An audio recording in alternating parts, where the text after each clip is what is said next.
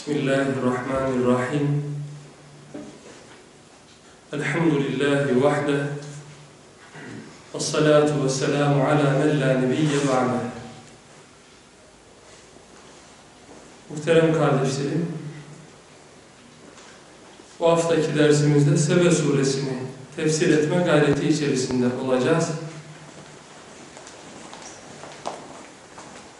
Sebe suresi Mekke-i Mükerreme'de nazil oluyor. Mekke'nin orta dönemlerine tekabül ediyor.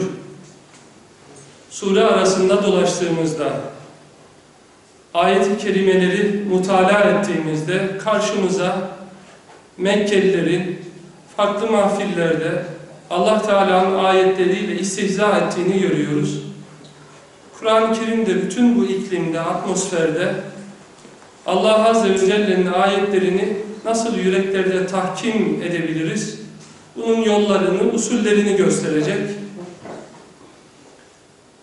Sebe suresini dört bölüme ayırıp da inceleyeceğiz. Girişinde hamd ile başlıyoruz. Allah Teala genel anlamda müşriklerin profilini, kişilik tahlillerini, onların kıyamet telakkilerini, neden inanmadıklarını ya da niçin inanmaları gerektiğini ifade buyuracak. İkinci bölümde iki insan karşımıza getirecek. Birinci grupta Hz. Davud oğlu Süleyman aleyhisselam'ı göreceğiz. Onlar her tür dünya nimetine sahip oldular, malik oldular. Fakat bu sahibiye onları İslam'dan, İslam'ın değerlerinden, ahiret telakkisinden uzaklaştırmadı. İkinci bölümde ise Sebe halkını göreceğiz. Bunlar zengin bir cemaat. Yani bugün ifadesiyle gayri safi milli hasılaları insanlık genelinde yeryüzü coğrafyasında en üst seviyede yer alan bir millet. Fakat bu halleri onları Cenab-ı Hakk'a şükretmeye değil de isyan etmeye götürmüş. Bunların akıbeti nicedir, ne olacak?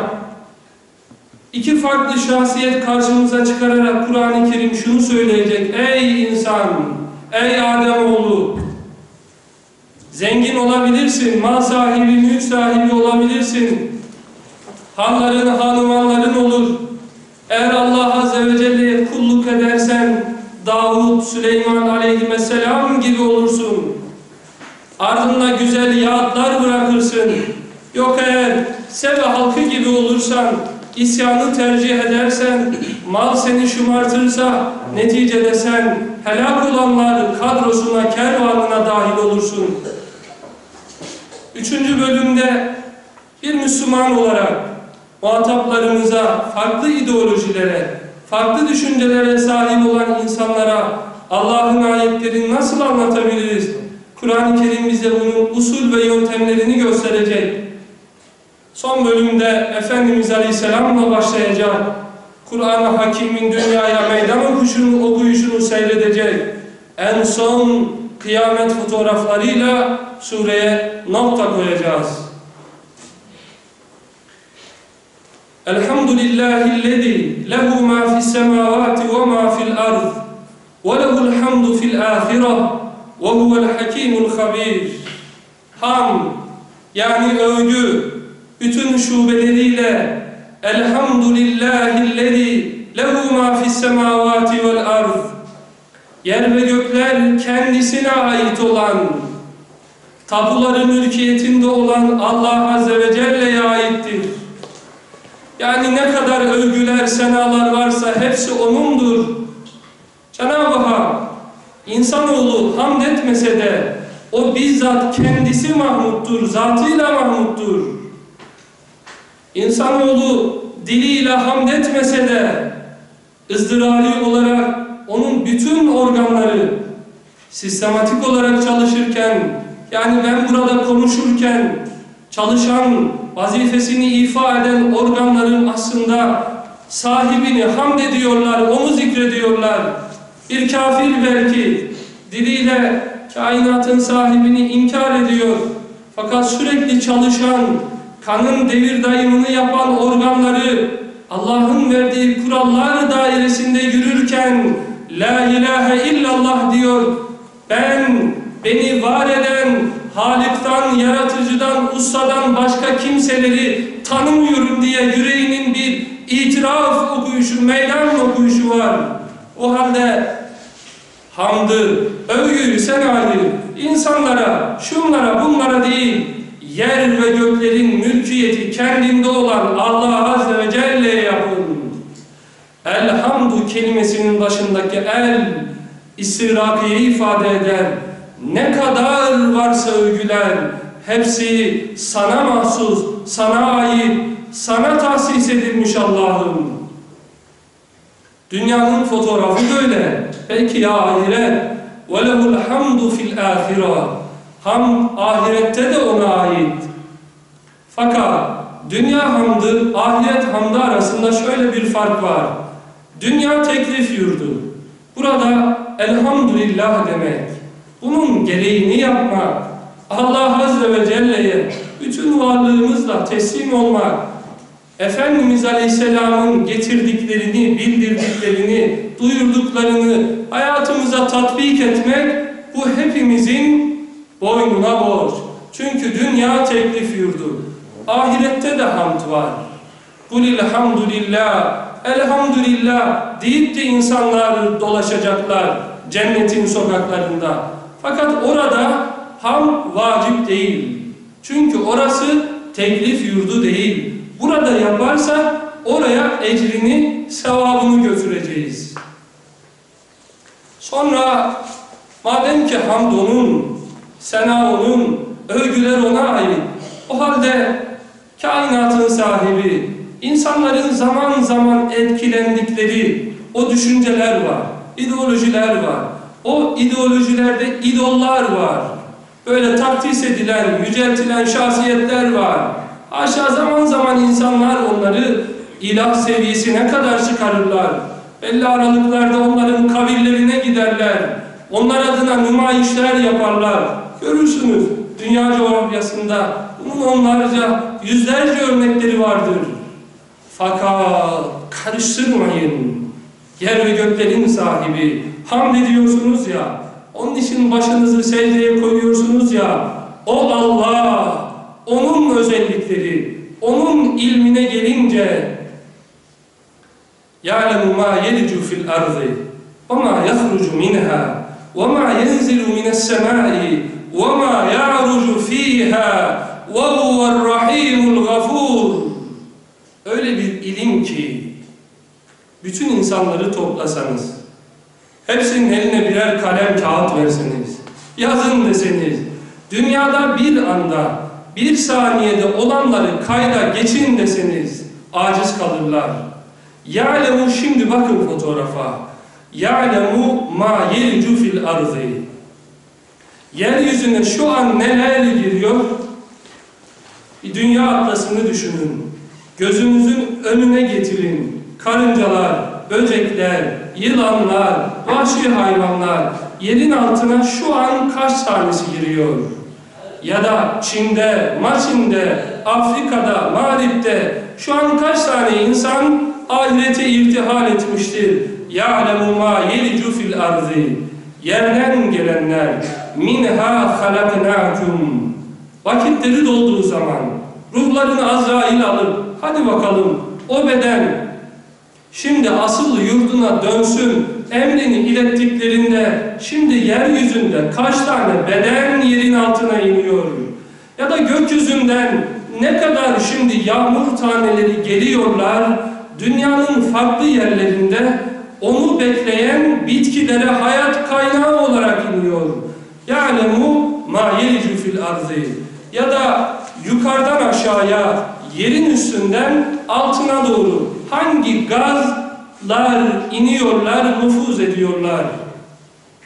وَمَا يَخْرُجُ minha Neler çıkıyor yerin içinden? Ne kadar çiftçiler tohumlar etmişlerdir. Maçin'de, Afrika'da, Çin'de, Türkiye'de, Rusya'da, Avrupa'da hepsi bekliyorlar. bereket için ürünlerine bakıyorlar. Hasat zamanlarını gözlüyorlar. Neler çıkıyor şimdi yerin altından? Bu sistemi onlara veren kim? Her bir bitki madem ki tesadüf eseri değildir. Madem ki Rusya'da yetişen bir ürün Afrika'da bitmez.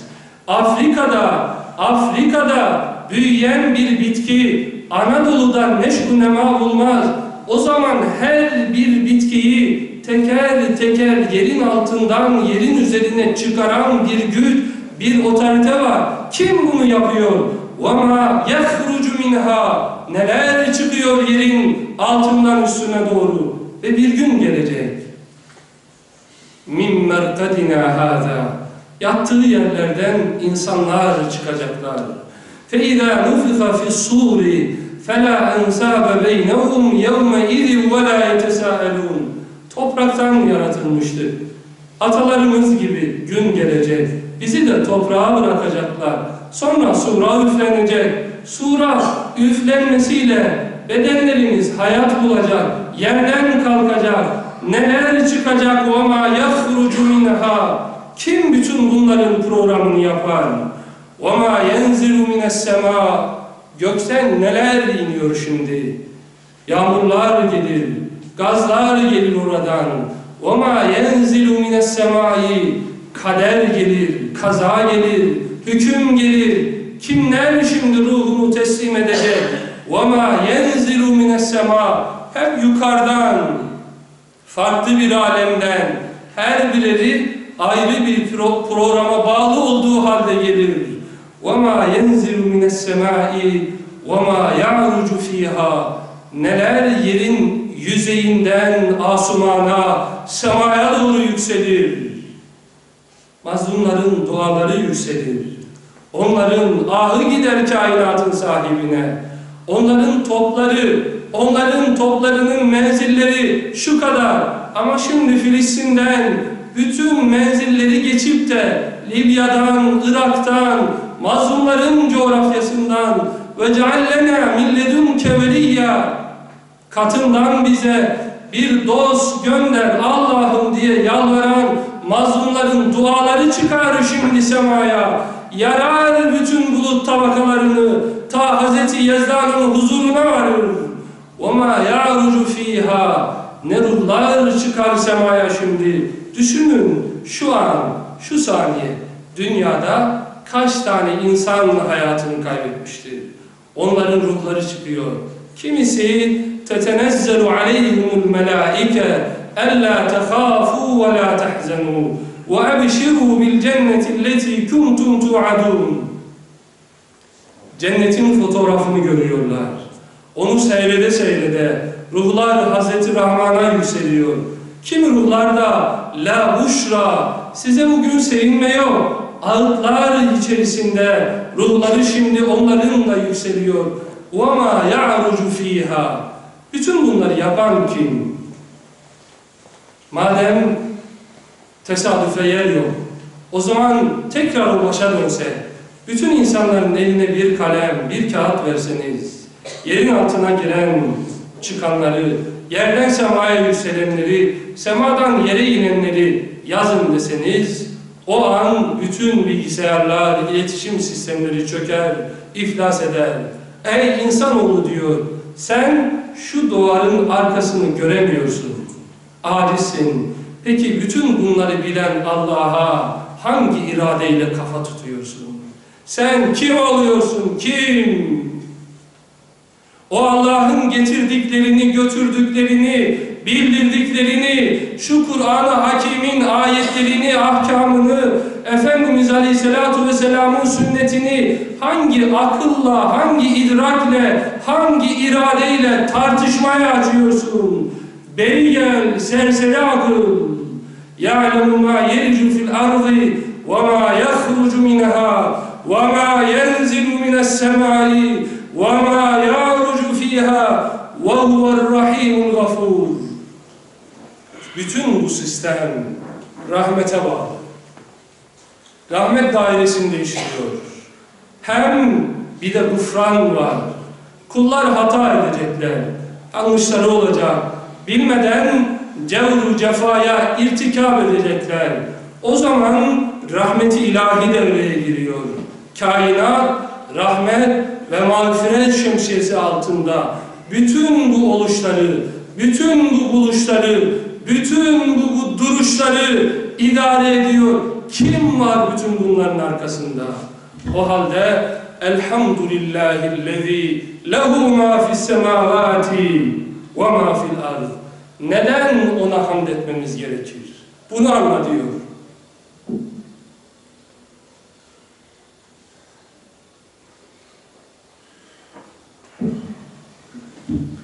Üçüncü ayet-i kerime وَقَالَ الَّذ۪ينَ كَفَرُوا لَا تَأْت۪ينَ السَّاعَةِ Kafirler yani fıtratlarının dilini örtenler demek. Allah Teala her insanı fıtrat üzere yaratmıştır. Az önce de ifade ettiğim gibi fıtratın esasında iman vardır, teslimiyet vardır. Yani belki diliyle inkar ediyorlar fakat içerilerdeki çalışan bütün organlarımız, gören gözlerimiz, işiten kulaklarımız hep onun koyduğu sistemler dairesinde hareket ediyor. O halde kafir demek Allah Azze ve Celle'nin fıtratına koyduğu kuralları, kanunları diliyle inkar eden, fıtratının haykırışlarına kulaklarını tıkayan zavallı biçare adam demek. وَقَالَ الَّذ۪ينَ كَفَرُوا Onlar dediler. لَا تَأْت۪ينَ السَّاعَةِ Kıyamet gelmeyecek. Neden? Kıyamet varsa hesap var demek. Ebu Cehil'e, Ebu Leheb'e yapılan zulümler sorulacak demek. Tefecilik sorulacak. Akıtılan kanlar, dökülen gözyaşları, onların hesabı sorulacak. Eğer kıyamet varsa onların gözüne uyku girmeyecek. Dünyalarında rahat olmayacak. O halde hep birden, hep birden kıyamet yoktur diyelim. وَقَالَ الَّذ۪ينَ كَفَرُوا لَا تَأْت۪ينَ السَّاعَةِ قُلْ Bela ve Rabbi lete'tiyennekum alimil gaybi. Kul bela. Efendimiz Aleyhisselam'a emrediyor söyle. Bela ifadesiyle onların ifadesini reddediyor. Yeni bir hakikati ilan ediyor. Kul bela ve Rabbi alimil gaybi. Gaybı bilen Rabbim konuşuyor şimdi. Ey Ademoğlu sen yarını bilemiyorsun. Neler başına gelecek? Şu kadar düşünce kuruluşun var. Onlarla birlikte hareket ediyorsun. Sana raporlar getiriyorlar. Gittiğin yerde şu kadar zamanda düşmanı etkisiz hale getirirsin diyorlar. Alıyorsun, şu kadar silahla gidiyorsun. Hani Libya, hani Afganistan, hani Irak, işte sen şu kadar bilgi desteğine rağmen iflas ediyorsun. Şimdi Hazreti Allah konuşuyor. O ki alimil gaybi, o Rabbi kelimesinin sıfatı. Sen ne biliyorsun? Ademoğlu. Gaybı bilen Rabbim haber veriyor. لَتَأْتِيَنَّكُمْ Mutlaka ve muhakkak kıyamet gelecek. Hiçbir şey ondan gizli değil. لَا يَعْزُبَ عَنْهُ مِثْقَالُ ذَرَّةٍ فِي السَّمَاوَاتِ وَلَا فِي الْأَرْضِ وَلَا أَسْغَرُ مِنْ ذَٰلِكَ وَلَا أَكْبَرُ Hiçbir şey gizli değil. Hani zerre kadar ya da zerreden daha küçük. Zerreye atom derseniz, atom o zaman bölünür mü, bölünmez mi? Bunu bilmiyorlardı. Ama şimdi bu ayeti anlarsak, وَلَا أَسْغَرُ مِنْ ذَٰلِكَ Zerreden, atomdan daha küçük, yani o bölünen parçaları, onları da bilen bir Hazreti Allah var. İşte o konuşuyor. Hiçbir şey ona gizli değilse mutlaka kıyamet gelecek. Neden gelecek peki kıyamet? Hani akılla düşünse kıyametin gelişini, olması gerektiğini çıkarabilir miyiz? Dördüncü ayet-i kerimede ve beşte buyuruyor ki kainatın sahibi لِيَجْزِيَ الَّذ۪ينَ آمَنُوا وَعَمِلُوا الصَّالِحَاتِ اُولَٰئِكَ لَهُمْ مَغْفِرَةٌ وَرِزْقٌ كَر۪يمٌ وَالَّذ۪ينَ سَعَوْا فِي آيَاتِنَا Ayet devam ediyor. Neden kıyamet? لِيَجْزِيَ الَّذ۪ينَ آمَنُوا وَعَمِلُوا الصَّالِحَاتِ İman edip ameli salih işleyenlere mükafatını vermek için. Başka Allah'la yarışanlar var. Muacizine vellezine sa'u fi ayatina. Allah Teala'nın ayetlerini etkisiz hale getirmek için uğraşan bir kadro var. Bir güruh var. Dünya bunlardan eksik kalmaz. Aslında marjinaldir bunlar. Üst tabaka, yönetmek isterler.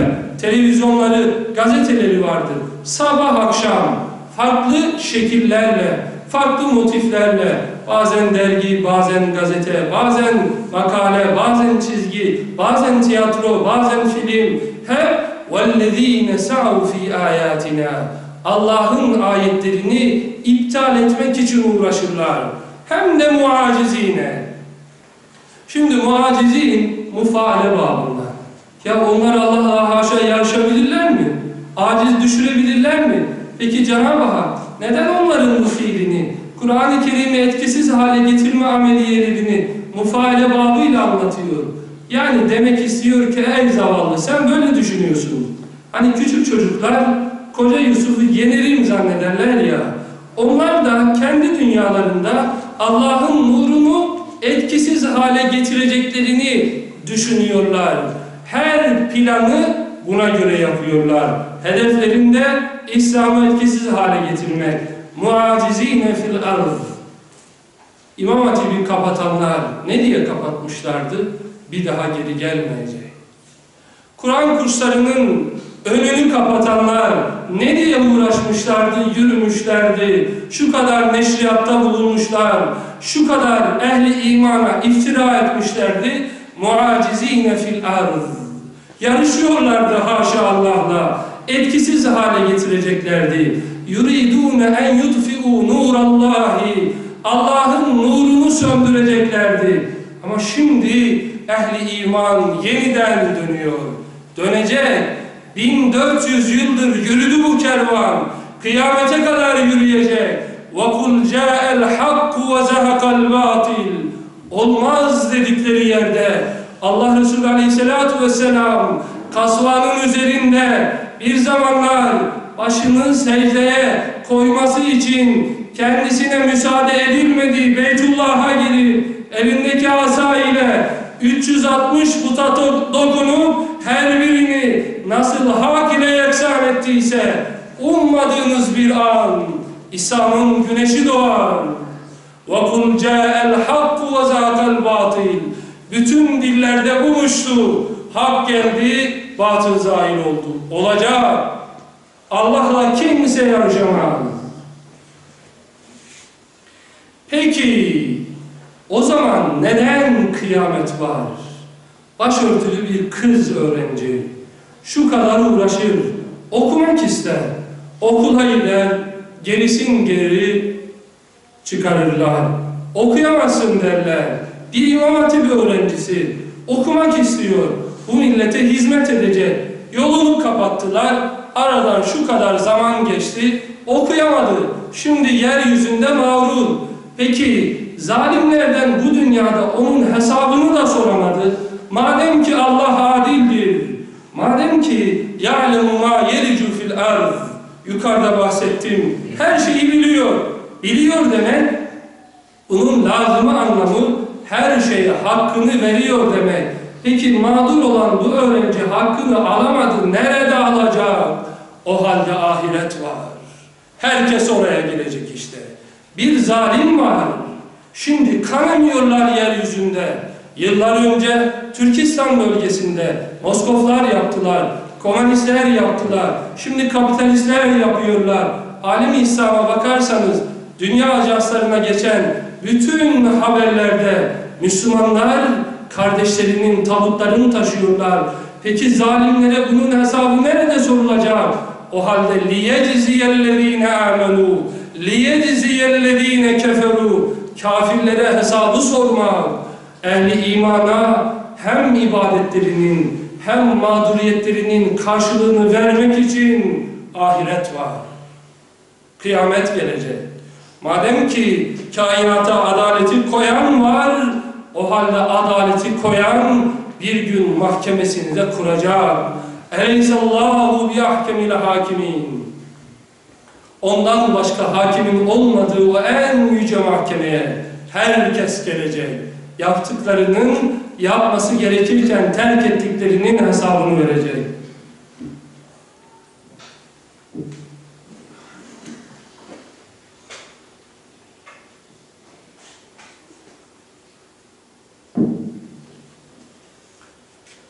ويرى الذين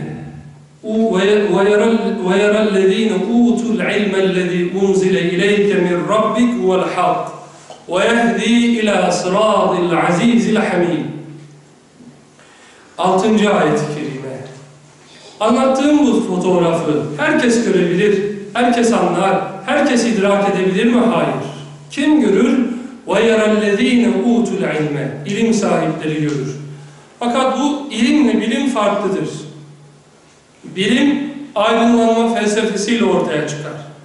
Bu sadece gördüğüne inanır. Ama ruhu görmez. Öldükten sonra ruhu nereye gidecek? Laboratuvarda bunu da göremez. Göremediği her şeyi inkar eder. Peki o zaman ey zavallı, ey biçare, seni var eden, sürekli seninle birlikte dolaşan ruhu bile bilmiyorsun. O halde bu senin elindeki oyuncağı biz nasıl ilim diyebilirim? Nedir bu? Ne işe yarar bu ilim? Seni anlatmıyorsa bu. Buna nasıl ilim diyeceksin? Ha ilim sahipleri, onlar Kur'an-ı Hakim'in hak olduğunu itiraf ederler. Nasıl bir hak? Sizi alır o kitap, ruhlar alemine götürür. Oradan Hazreti Adem'e gelirsiniz. Bir topraksınız. Topraktan şekliniz vücuda gelir. Sonra وَلَفَخْتُ ف۪يهِ مِنْ ruhi O şekle bir ruh üflenir.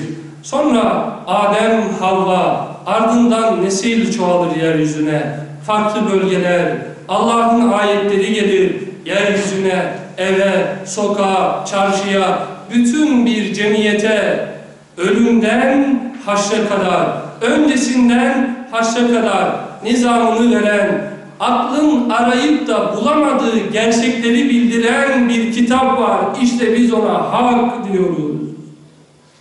Şu kadar filozof arar, şu kadar düşünür, ardında koşar. Nedir ruh, nedir alem, nedir hakikat, nedir eşya, neden geldik, niçin geldik, nereye gidiyoruz? Mücerred akılla bunların cevabı verilemez. O halde ehli ilim bilir ki bu kitap hak. Sadece onları işte bu bildirir. Kur'an-ı Kerim fizik kitabı değil. Coğrafya, matematik, kimya vesaire. Bunları herkes bulabilir. Allah Teala'nın yeryüzüne koyduğu kanunlar, kurallar var. İnsanlar belli bir çabanın neticesinde o kuralları tespit ederler. Bulurlar, ortaya çıkarırlar. Ama Kur'an-ı Kerim yeryüzünün en cins kafalarının arayıp da bulamadığı, aziyetlerini itiraf ettiği hakikatten bahseder. Pascal bir manastıra kapanır.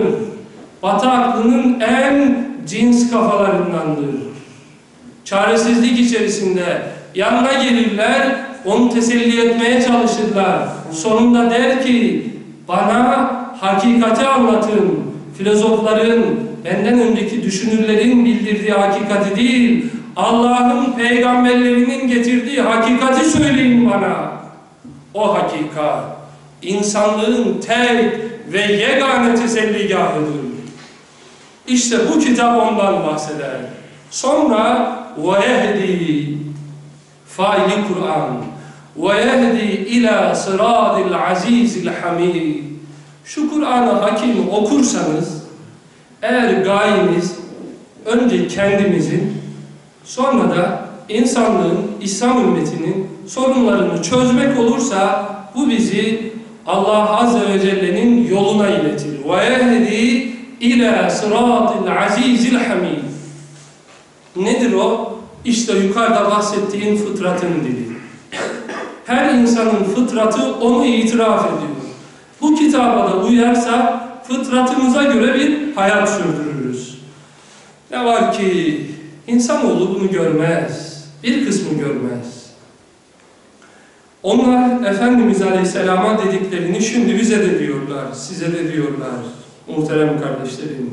وَقَالَ الَّذ۪ينَ كَفَرُوا هَلْ نَدُلُّكُمْ عَلَى رَجُلٍ يُنَبِّئُكُمْ اِذَا مُزِّقْتُمْ كُلَّ مُمَزَّةٍ اَنَّكُمْ ف۪ي خَلْقٍ جَد۪يدٍ İnnekum lefî halkın cedîd.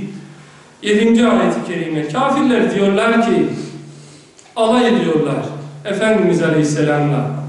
Hel ledullukum ala raculi. Size bir adamdan haber verelim mi?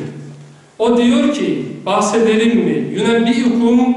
O size anlatıyor. Efendimiz'i kastediyorlar. İzâ muziktum külle mumazzakin. Öleceksiniz, yerin altına gireceksiniz paramparça olacaksınız. Parçalanan bu hücreleriniz, kemikleriniz bir araya gelecek. Siz innekum lefi halqin cedid. Yeniden yaratılıp da yeryüzüne çıkacaksınız. Oradan Hazreti Allah'a gideceksiniz. Hesap vereceksiniz. Olur mu böyle bir şey? Eftera alallahi kediben em bihi cinne. E iftira demek. Ya bu Allah'a iftira ediyor bu Muhammed haşa. Yoksa bu deli midir? Haşa bunlar deli saçması mıdır?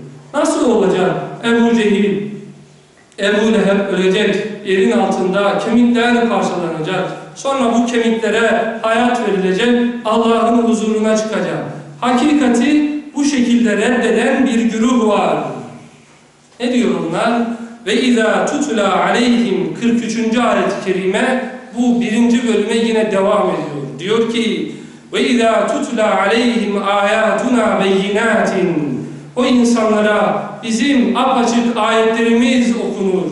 Tekvini ayette başını kaldırdığı zaman yıldız, ay, güneş, yerden biten otlar, açan çiçekler, öten kuşlar, akan nehirler, her şey Allah'ın ayetidir. Ona iman etmeye götürür ya da Kur'an-ı Kerim'in ayetleri. Bütün bunların mahşerinde قَالُوا مَا هَذَا إِلَّا رَجُلٌ يُرِيدُ أَنْ يَسُدَّكُمْ عَمَّا كَانَ يَعْبُدُ آبَاؤُكُمْ Bunlar mürteci diyecekler.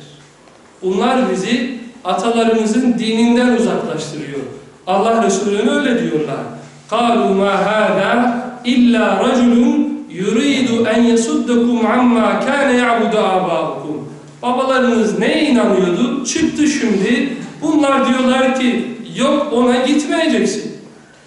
Onun karşısında eğilmeyeceksin. Falancanın ideolojisini hayatına dustur, esas olarak kabul etmeyeceksin. Bunlar Allah'ın ayetleri evde, sokakta, çarşıda bunları esas alacak, bunlara göre yaşayacaksın. Olmaz diyorlar. Bunlara mürteci diyoruz işte.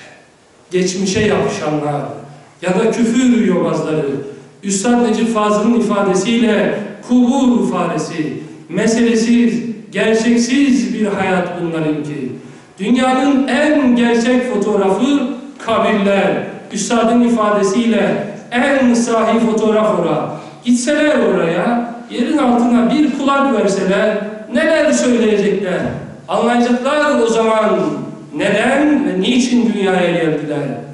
Anlayamadıklarından gerçek mürteci sana ve bana mürteci diyor. وَقَالُوا مَا هَذَا اِلَّا اِفْكٌ مُفْتَرَى İkinci adımda bu Kur'an-ı Kerim masal diyorlar. Uydurma diyorlar.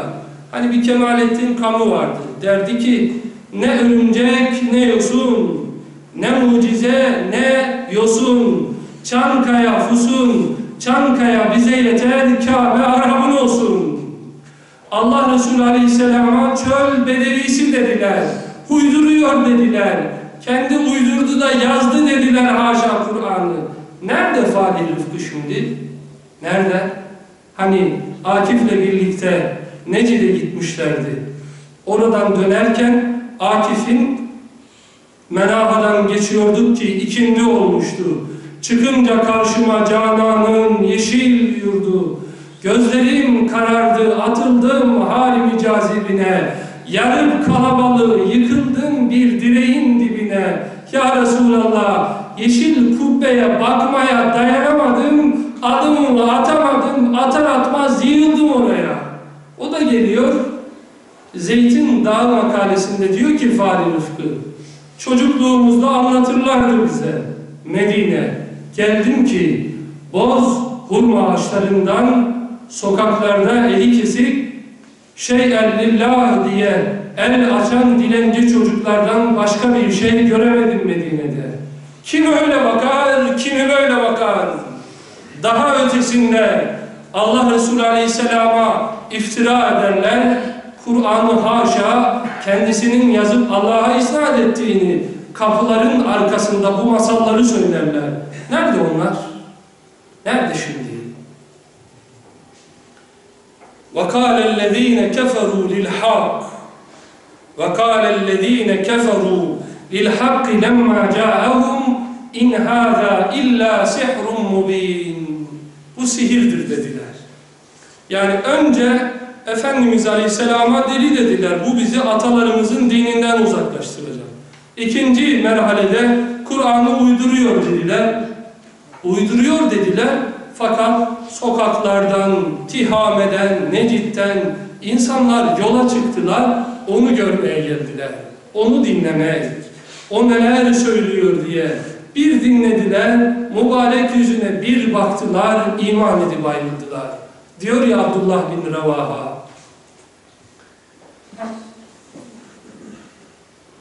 Eğer ya Resulallah hiçbir mucizen olmasaydı, sadece mübarek yüzüne bakanlar o yüzünden hareketle Allah'ın Resulü olduğunu itiraf ederlerdi. Ya da Karafi'nin söylediği gibi Efendimiz Aleyhisselatü Vesselam'ın mucizeleri olmasa, parmaklarından sular boşalmasa, bir şu kadar bardak bir nida su bütün bir ashabına yetecek kadar bereketlenmese, bu gözler bunlara şahit olmasa, sadece ashabını görse, lekefevhu li isbati nubuvvetihi. Risaleti isbata kafidir ya Resulallah. Ömer'in bir önceki, bir sonraki hali. Evinden çıkıp seni öldürmeye gelen bir Ömer var. Ellerini kaldırıyor. Allahümme bi ihdel umereyn. İki Ömer'den birini istiyorum Allah'ım diye yalvarıyor. Birkaç saniye sonra Ömer eşhedü en la ilahe illallah diyor. Şimdi bunu görünce bu sihirdir diyorlar. Yani bir türlü Kur'an-ı Hakimi insanların gözünde, onların nazarında etkisiz hale getirecekler. Bu işte onların psikolojik harbi mi diyelim, mücadelesi mi diyelim, kendilerince mücadele ediyorlar. Şimdi peki inkar ediyorlar, ahiret yok diyorlar. Sonra şöyle bir faraziye getiriyorlar. Diyorlar ki o faraziyelerinde 34. ayet-i kerime 35. ayet-i kerime وَقَالُوا نَحْنُ أَكْثَرُ أَمْوَالًا وَأَوْلَادًا وَمَا نَحْنُ بِمُعَذَّبِينَ Hadi ahiret varsa, hesap olacaksa, Allah Teala bütün insanları kabirden kaldırıp mahşere getirecekse, o zaman yine kazanan biz olacağız. Çünkü dünyada mal bizde, evlat bizde, hanlar, hanmanlar bizim tapumuza ait. Biz Allah'ın sevgili, muhterem kullarıyız ki bu nimetleri bize ihsan etti. O zaman ahirette aynı Allah varsa yine bize cennetini nasip edecek Faraziyesi küfrün bu. وَقَالُوا نَحْنُ اَكْثَرُ اَمْوَالًا وَاَوْلَادًا وَمَا نَحْنُ بِمُعَذَّبِينَ Kainatın sahibi hikmeti şimdi açıklıyor. قُلْ اِنَّ رَبِّي يَبْسُدُ الرِّزْقَ لِمَنْ يَشَاءُ وَيَقْدِرُ وَلَكِنَّ اَكْثَرَ النَّاسِ لَا يَعْلَمُونَ Benim Rabbim rızkı yayar. Limen yeşâ'u dilediğine dilediğine dünyada bir milyon yıl kalsa o kadar bir rızık verir. Ama kimisi için de onu kısar. Kimisi az rızıkla imtihan edilir, kimisi çok rızıkla imtihan edilir. Efendimiz Aleyhisselatü Vesselam fakirlikte imtihan, zenginlikte imtihandan daha zordur. Fakat bu sırrı insanların çoğu anlayamazlar. Bir de eşyanın şöyle bir fotoğrafı var. İnsanoğlu Kimisi müştehidir. Yani dünyalıklara karşı içerisinde bir özlem vardır. Bulsa dünyaları kullanacak, istifade edecek. Yani sofrasında 10 çeşit gıda olsa belki onun da tadına bakacak. Kimi bulamaz ama müştehidir. Kimisi bulur belki yüz çeşit gıda getirir ama müştehi Onun da içerisinde o gıdaları almaya karşı bir aşk ve heyecan kalmamıştır. 80'e 90'a gelmiştir. Dilinde tat kalmamıştır. Alsa midesinde problem vardır. Belki alacak, hazmedemeyecek. O halde kul inne rabbi yabsudur rızka limen yeşâ'u ve yakdir. وَلَاكِنَّ اَكْثَرَ النَّاسِ لَا يَعْلَمُونَ Fakat insanların çoğu bunu anlayamazlar. Koltuklarına oturdukları zaman dünyaya, eşyaya farklı bir zaviyeden bakarlar. Efendim bu birinci bölüm. Şimdi buradan ikinci bölüme geçiyor Kur'an-ı Kerim. İnne fî zâlike le âyeten li kulli abdin munîb. Allah'a yönelen her kul için bunda ayet var. Söylediklerinde, yukarıdan aşağıya tadat edilenlerde inne fî zâlike le âyeten li kulli abdin munîb. Sonra ona yönelen bir kuldan bahsedecek. Kardeşlerim, Taib ile Munib arasında şöyle bir fark var. Tövbede Cenab-ı Hakk'a yöneliş, fakat korkuyla bir iltica ediş var. Ve enibu ila rabbikum inabede ise aşk ve heyecanla gidiş var. Hani Mevlana diyor ya, şebi aruz görme, ona koşma, düğün gecesi gibi görme. Allah Resulü Aleyhisselam'ın Ayşe annemizin göğsündeki son sözleri, o ya Rab, Resulüne şifa ihsan eyle diye dua ederken elini tutar, müdahale eder. Uridur rafikal a'la. O en yüce dostu istiyorum Ayşe. Artık bütün acılara pay dost demenin zamanı gelmiştir. İşte buna inabe diyoruz. Bir babanın esaretten sonra evine koşarken çocuklarına, ailesine, yakınlarına ulaşma heyecanı nasılsa Müslüman ruhunu teslim ederken o hali yaşar işte. Ve enibu ila rabbikum. Şimdi böyle bir munipten bahsedecek Kur'an-ı Kerim. İki profil. Bunların ikisi de dünyalıklara sahip. Biri Davud, Süleyman aleyhisselam, karşıda ise Seve kavmi, Seve topluluğu var. وَلَقَدْ آتَيْنَا دَاوُودَ مِنَّا فَضْلًا يَا جِبَالُ أَوْبِي مَعَهُ وَالطَّيْرُ وَأَلَنَّا لَهُ الْحَدِيدِ 10. ayet-i kerime.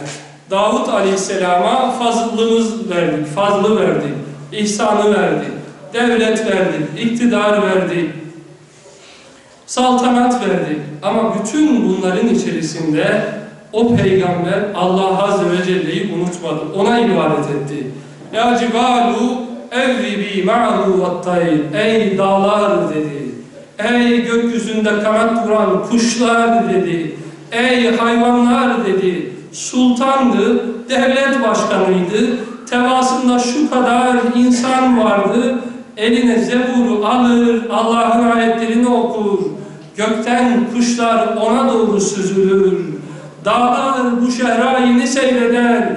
Hepsi Allah Azze ve Celle'yi tesbih ederler. Ya cibalu evlibi ma'hu vattayr.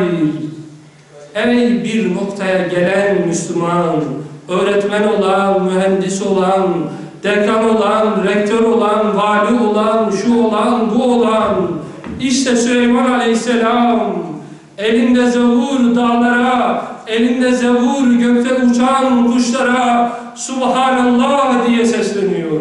Onlar da iniyorlar kendi hal dilleriyle Süleyman Aleyhisselam'ın tesbihatına, evradına iştirak ediyorlar. Yeryüzünden asmana bütün bir mahlukatın tadarruzu yükseliyor. Evzibi ma'hu vattayr ve elenna lehul hadid Tesbih varsa o zaman iktidarın gücü de var. Kuvveti de var. Yavuzsanız, Fatihseniz, Allah Azze ve Celle'ye başlarınız ala külli hal eğiliyorsa o zaman iktidar da olacak. Yani bir tarafta minarelerin bacalarından ezan sesini, diğer taraftan ise fabrikaların bacalarından dumanı semaya yükselteceksiniz. Ve elenna lehul hadid. Davut aleyhisselam tesbihatı bütün bir mahlukat ile. Sonra elinde demir hamur haline geliyor. Biz getirdik diyor. Her şekli veriyor. Ağrı sanayinin mimarıdır Davut Aleyhisselam. Demiri işleyen insan. Medeniyetin hani böyle atlama taşları vardır ya. Onların esasında hep peygamberler vardır. İlk elbiseyi diken onlardır. Demiri bulan, işleyen onlardır. Ticareti başlatan onlardır. Yeryüzünü ilk eken, ürünlerin bitmesine sebep olan, yani bütün bunlar sebebi adidir. Ama hep peygamberler vardır.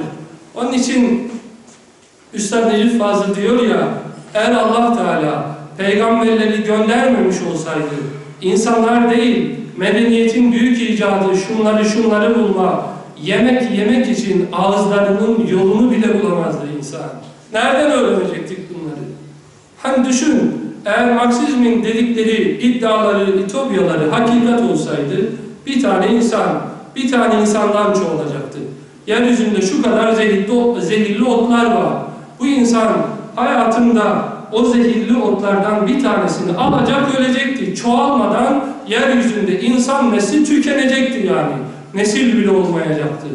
O halde Allah peygamberleri göndermese yemek yemek için ağzımızın yolunu bile bulamazdı. Zavallı insan. Şimdi onun ayetlerine nereden ve